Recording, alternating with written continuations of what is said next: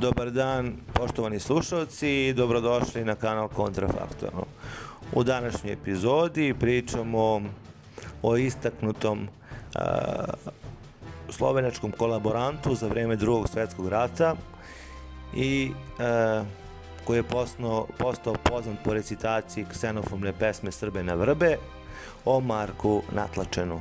No, pre nego što nastavimo s epizodom, ne zaboravite da se preplatite na kanal. On je rođen 26. aprila 1886. godine u Vipavskoj dolini u selu Manče.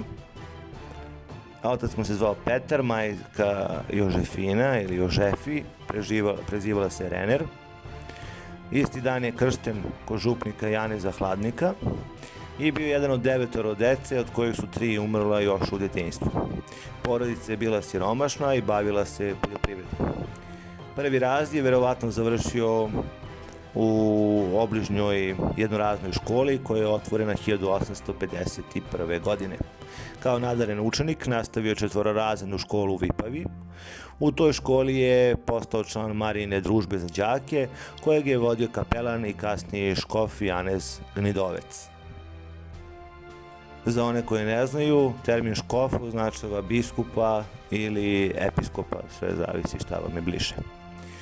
U Beču je završio pravni fakultet, imao je čak i stipendiju, bio je predsednik slovenačkih studenta i predsednik Akademskog društva Danica, čiji je moto bio sve za veru dom i cara.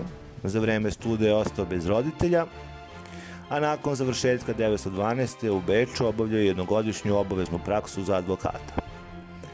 Nakon toga je otišao u Ljubljanu gde je počeo da radi kao advokat. Na dan objavljivanja rata Austrougarske prema Srbiji 28. jula 1914. ispred Krajinskog državnog dvora, danas je to Univerzitet u Ljubljani, u centru Ljubljane držao je pro-austrijski patriotski govor. 600 godine naš slovenački narod po žezlom slavne Habsburgske monarhije i obračunavao se sa kraljevinom Srbijom. Taj govor, gde je citirao i huškačku pesmu Bojni grom, je bio osuđen od njegovih drugara i verovatno razlog da 1929. nije bio imenovan za bana Dravske banovine. Za vreme Kraljevine Jugoslavije bio je 21 mesec konfiniran u Bosni, u Sarajevu, u Bileći i u Gacku. Bio je član Slovenačke narodne stranke, bavio se problematikom komunizma kome se suprostavljao Na dan agresije nacista i fašista na Jugoslaviju 6. aprila 1941. godine ustanovio Narodni savez za Sloveniju, čiji je cilj bio saradnja s okupatorom za što manji broj žrtava u narodu.